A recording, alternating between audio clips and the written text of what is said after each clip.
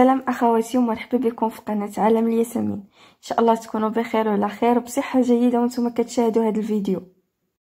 اليوم إن شاء الله بغيت نشارك معكم طريقتي في تحضير خبز البرجر أو الهامبرجر. صراحة كيجيو قطنين وهشاش والأهم أنهم صحيين يعني تديرهم في المنزل ديالك. كيجيو بحال ديال المحلات. بطريقه جد سهلة بدون بيض اقتصاديين.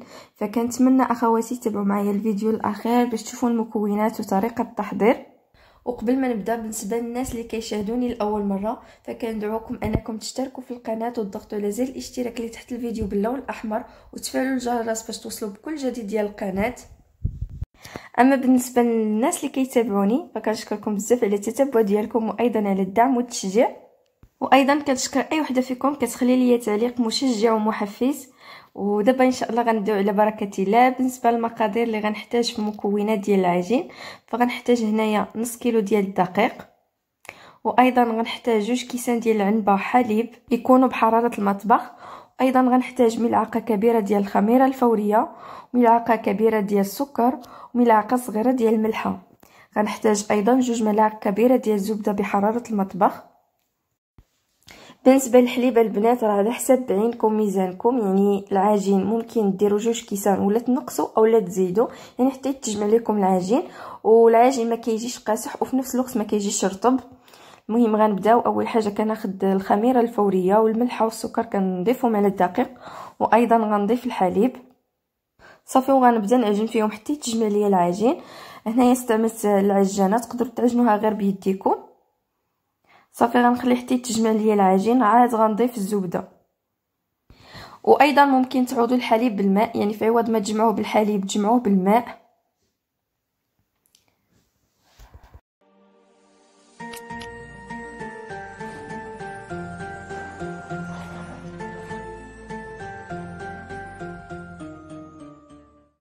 من بعد ما تجمع ليا العجين فغنضيف جوج ملاعق كبيرة ديال الزبدة بحرارة المطبخ. صافي وغنخلي العجين يتجن جيدا. المهم تقريبا إلا استعملتو يديكم تجنوا مده عشر دقائق وخاص تدخل ديك الزبدة جيدا في العجين. ها هو العجين البنات صار واجد أنا ما غنخليهش يخمر. غنشكلو على شكل حربول ونقطع القطع صغيرة. من بعد غنشكلهم كويرات. كما شفتوا معايا العجين راه كيجي رطب. يعني واخا في الأول كيكون قاصح ملي تضيفي الزبدة كيرجع رطب. غنحاول نشكلو على شكل حربول من بعد غنبدأ نقطع الدوائر يكونوا متساويين الحجم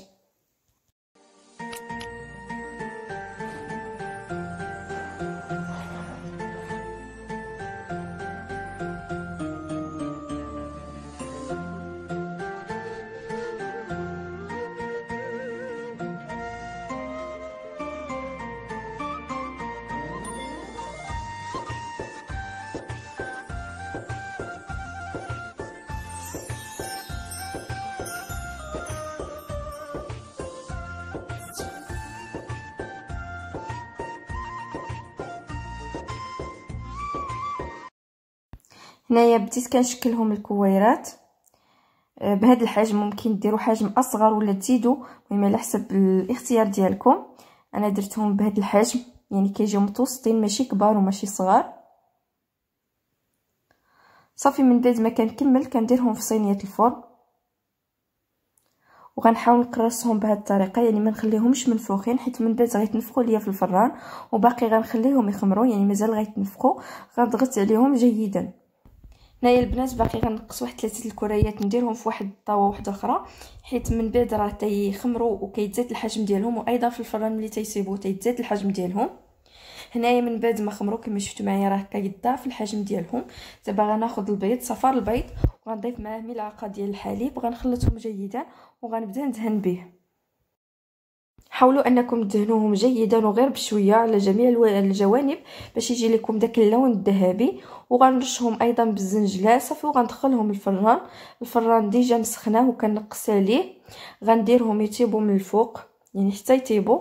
وبداو يتنفخوا عاد نهبطهم لتحت يتحمروا. ونرجعوهم ثاني للفوق باش يكملوا الطياب ديالهم باش ما يتشقوش لكم من الفوق. كنتمنى ان الطريقة تكون واضحة.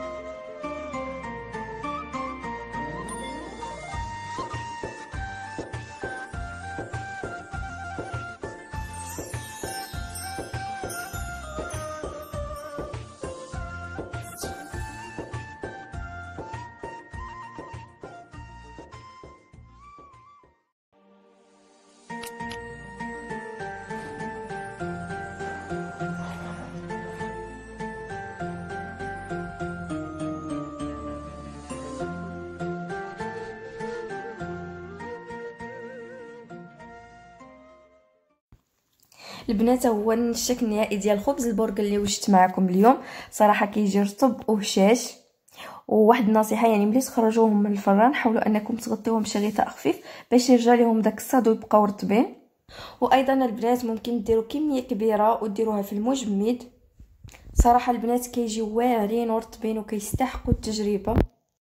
وباقي إن شاء الله في فيديو آخر غنقدم لكم طريقتي في تحضير الهامبرغر بالكفتة. كيجيو رائعين وسهلين. أيضا في التحضير كنتمنى أن الوصفة ديال اليوم تنال إعجابكم وإذا عجبكم الفيديو ما تنساوش تبارطاجيو مع أحبابكم وصحابكم وأيضا ما تنساوش ديروا لايك ونتلاقاو في فيديو آخر إن شاء الله وبالصحة والراحة.